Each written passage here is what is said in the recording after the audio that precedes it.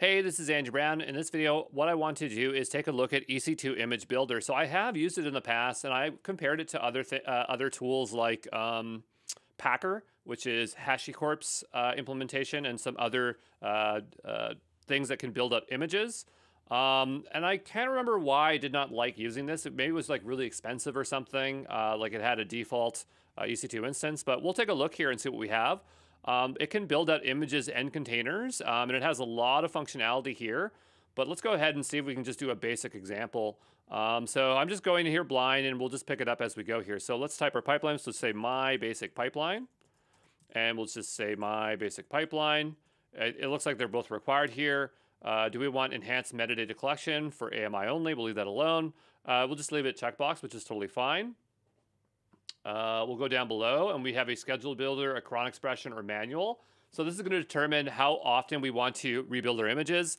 Um, the idea here is that if you have uh, uh, an image and you're rebuilding it, it's going to run the commands to build it every single time to install packages and things like that. And so if there is updated packages, you're going to always have the latest patched um, or updated uh, packages. And that's why you'd build uh, uh, daily. I'm going to go to manual because I don't want to build on a schedule here today. And we have a few options. So we can use an existing re recipe or create a new one. I'm going to create a new one. And so we have AMI or Docker image. I think for this round, let's do AMI. I just call this my basic AMI.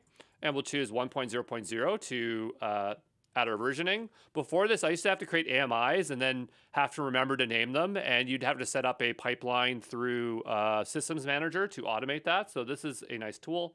But again, you'd save more money if you probably utilize this because I feel like this has an additional cost or a fixed cost that we have to deal with here. Uh, select image. So here we can choose our base image. Um, Amazon Linux seems fine, so we'll choose that. And then we have the quick start Amazon managed image. So choose the image to configure from a list of previously created uh, pipeline images. So that seems fine to me.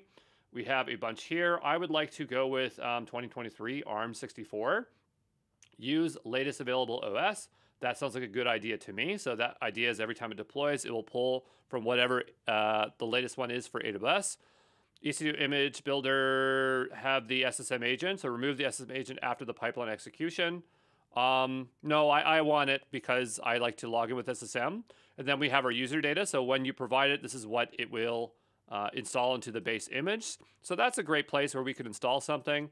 Uh, we just deployed an EC2 instance in AWS ASG and it had some basic template. Actually, if we go down to our EC2 folder here, we have some user data. And so I can just go ahead and grab uh, this script. And so this thing will install Apache. So I'm going to go ahead and grab this and paste it in here. And the user data is already base64. That's not true. we'll leave that alone. And we'll go down below here. It has a working directory, which is fine. And then we have some components. So this is really cool. We can get really set up with a bunch of stuff. So let's say we want Amazon Corretto to do some Java.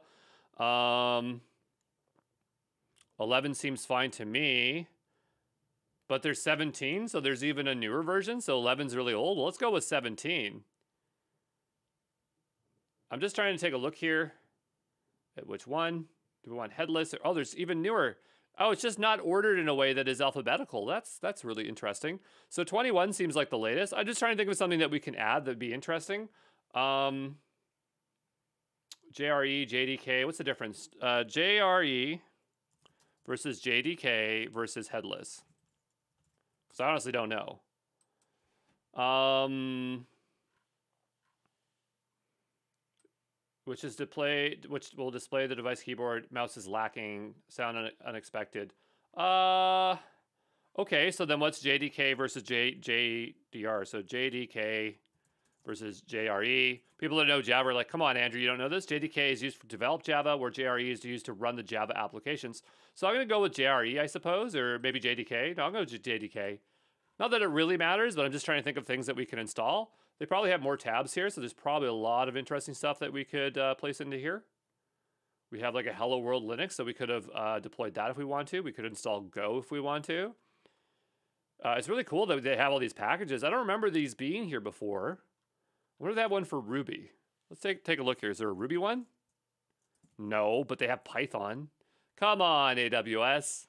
So we'll install Java and Python onto here, and then we have other additional components. Uh, select test to verify the uh, output of the AMI. So there is a few tests here. Test whether the system can reboot successfully. That sounds like a good idea. So I like that. Um, so that is fine. We have our, our storage. We'll go ahead, ahead and hit next. And then we have default workflows, custom workflows. Let's take a look here and see what we have for custom workflows. Um, so I imagine that this is where we could add additional build steps. Choose a build workflow. I'll say image. And let's go take a look here. So yeah, I'm not 100% sure what this is right now. I, I simply cannot remember. Uh, but I'm to go back to the default workflows as I'm just not 100% confident with that. So we'll go ahead and hit next. And then we have define infrastructure configuration. So create infrastructure configuration using service defaults. Mm. Uh, so we can change some things down here. I'm going to leave this back to default. Okay, so that seems fine. We'll go ahead and hit next. And this seems fine. So we have a bunch of options here. This is next. We'll go ahead and hit review. So what I was looking for through that that whole process was where would I um, actually say, hey, I want to install these things or run these things? Because usually when you have an image builder, you're specifying that path there, and I just don't seem to remember that. But we'll go over here, we'll take a look, and I guess what we could do is we go ahead and run this pipeline. And so the idea is that this should now build out our, our image. Um, and the other thing is that this is going to use some kind of base uh, compute. So let's go take a look at pricing EC2 uh, image builder. Pricing. And if we go down below, it'll probably tell us something about cost somewhere here. There is offered at no cost other than the cost of the underlying AWS resources. I feel like that's not true because it uses some level of base image that it has to do to run it. So it's not telling us the full truth there, and I'm not exactly sure what the cost is. I'm not really concerned about it because it should build pretty quickly, but it is a little bit annoying. I'm going to dig a little bit deeper. Just give me a moment, okay? So yeah, I still don't know. And when the service first launched, you couldn't change its compute. And so what I'm thinking is that somewhere in here, it probably would tell us in our image pipeline, if we click into this, the compute that we use, distribution settings, infrastructure configuration. Maybe that's what it's talking about here because we're not specifying instance type. Um, but maybe this is actually for what it will actually use for the for all these other settings because when you have the distribution settings, you can say I want this to be a launch template, and I would say it should have an instance type, right? Hmm. So yeah, not 100% uh, certain on that point, but for the time being, let's go take a look and see if our AMI built. And so here we have our AMI. Did it already build? Oh, it's still building. Okay, so we're going to have to wait for that AMI to build.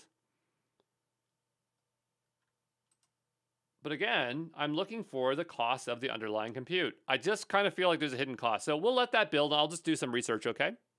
All right, so I'm blown away with this because it really seems like there's no cost to build images. And I, I don't understand why. Because it definitely had a cost before. So if it's free, that is great. Um, I'm still skeptical, but that's fine because I used to have to debate whether I wanted to use EC2 Image Builder and SSM to build images. So if we go over, here for just a moment, we go over to SSM. And um, in here, what you could do is you could create a bunch of run commands and then you could automate uh, the deployment of that on a schedule. So there's like a scheduler somewhere in here. Um, and so that's how I would normally do it. Or, or every time you push changes to the repo, it would, it would rebuild and then go through your run commands. And I, I have like a big repo where I've done that. But if this takes away a lot of that work, that seems really uh, good to me. Um, so that's really interesting. Okay, and then here we can see the uh, components. What I'd be interested is like, can we create our own components? So if we go here, oh, we can. All right, is this just using uh, the run command language? Uh, component is defined by a YAML document. Phases, steps. So this seems like this is probably run commands. Uses the AWS SOT action modules. What is that? AWS Task Orchestrator and execute, Executor.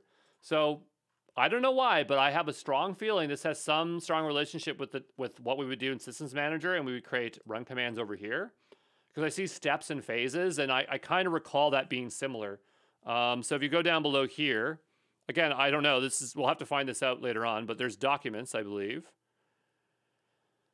I'm just trying to find them. Yeah, and so you have documents here, and the idea here is that if you go into them,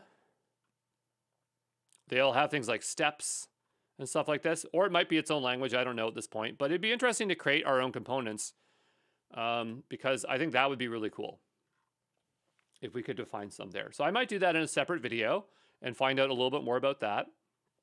But let's go back to our images and wait for that to build. Um, so yeah, we'll just wait for that, okay? All right, so it's still building. It's going really slow, but maybe that has to do with why it's, it's free now. Because I remember before, again, it utilized the compute behind it that was expensive. But uh, if we go over here, we can actually see the steps that it's following. So you'll see that it launches the build image, applies the build components, inventories the collections, runs sanitize script, create the AMI output. And so um, it obviously skipped that one. And so now it's just creating the, uh, the output AMI and we're going to have to wait here. Now, we did tell it to launch and restart, so there is a testing process here, and so we'd have to wait that entire time for that EC2 instance to spin up. Um, so maybe if we got rid of that test, it would be a lot faster. Um, but, you know, it is going, so we'll just wait here and keep refreshing and uh, uh, see when it's done, okay? All right, imagine this must be done, even though uh, it doesn't show it's done. I'm gonna give this a hard refresh and we'll take a look here and it is now available. So our image is here. Let's go take a look and see if we can launch it. So I'm to go to our image. Uh, can I launch it? Uh, no, not from here, but we'll go over to EC2. And we'll go to AMIs, or the AMI catalog. AMI, sorry. And we do have an image here. Is this the image we created though? And that's what I'm not 100% certain on. This is saying, well, this is Amazon Linux 2. So it's not exactly what I want. I'm going to go over here for a moment. And down below here, we have the AMID. It says 0AE9. So if we go back over to this one, 003. So I'm going to just deselect that one and give this a refresh. Now we're seeing all of our AMIs. And I actually have a, a bunch in here. Um, but it's actually showing all of them. So these are all the public images, and I just want owned by me or private images. And so this is the only one I have in here. And it's definitely not the one that I was thinking that I wanted to utilize. So what's going on here? That's what I want to know. So if I click through here, now I get my AMI, but why wouldn't it show up over here? Oh, it does. Okay, the name's right here. All right, so I'm just not paying attention. It says my basic AMI, my basic AMI. And you're probably looking at that, Andrew, like, hey, why aren't you reading? It's right there in the AMI name. So there it is. We'll go ahead and launch it. I just want to confirm it actually does what we think it does. So just say my uh, EC2 builder AMI image, and we'll go down below. And so that looks good. T4G Nano. I mean, this does have Java on it, so I'm going to go a little bit larger. If you don't want to, you totally don't have to. I'm going to go down below uh, to advanced details and I want to add in uh, our SSM role. We create that somewhere else. So it's just the basic SSM role to get access. If you don't know what it is, go look it up. We do in our EC2 section so many times. Um, over here, I want to have a, allow HTTP and HTTPS traffic so that we can see our website. Um, and that seems good. So we'll go ahead and launch that instance. And I'll proceed without a key pair. We don't need one because we have the SSM role. And we'll wait for that to launch, all right? So be back here when this is ready, okay? All right, so our instance is uh, ready. Let's go ahead and see if we can connect to it. And the other part of it is I want to go and see if we have a public IP address. And if we do, do we have our Apache server that we configured? So I'm not seeing anything there, which is uh, not necessarily a bad thing, but we'll go ahead and type in sudo su ec2 user. And there are a couple of things we installed like Python. So is Python here? Uh, Python? I don't see it. so that's not uh, the best indicator that this was successful. Um, do we have Java at least? Uh, it seems like that's running Java. So that is there. And that is the version we installed. Maybe we installed Python 3. So Python 3 is there. Excellent. Um, but what about our web server? Why didn't that work? Um, so we'll go back over to our script because I could have swore we told it to utilize that on the configuration step to install it. So we'll go back into our AMI here. Whoops, not over here, sorry. I want to go over into our image recipes and click into here. As we did specify this user data script, right? So instance configuration. Um, so unless there's something wrong with this, uh, that could be our indicator. So we do that. We can use sudo system STL to find out. So we'll say sudo system uh, CTL, sorry. It's not STL. And if I go over to here, we have start. So I'm going to do status on this. Status HTTPD. And it is running. Okay, so there is an Apache server there. Um, let's do curl localhost. See what we get. Oh, okay, so it is installed. And so that means that it's probably something with our security group then. So if we go back over to here and we go to security and we look at our ports, port 80 is open. So probably what it is, is that we just have to take the S out of there. There we go. So our image works and that is great. Um, and I'm just gonna go ahead and terminate this instance. I'm gonna keep around our image because I want to do more things with it. Uh, so that is something that we will do. Um, I'm going to keep the AMI around. If you're worried about cost, you can delete the AMI, but everything else is not a big deal. Like you could just build the pipeline again and have the that AMI there again. But uh, again, I just want to keep utilizing EC2 Image Builder because it seems to have a lot more capabilities since the last time I used it. And I think that that seems uh, like a very useful service to learn more about, okay? Um, so yeah, I delete that instance and I'll see you in the next one, okay? Ciao.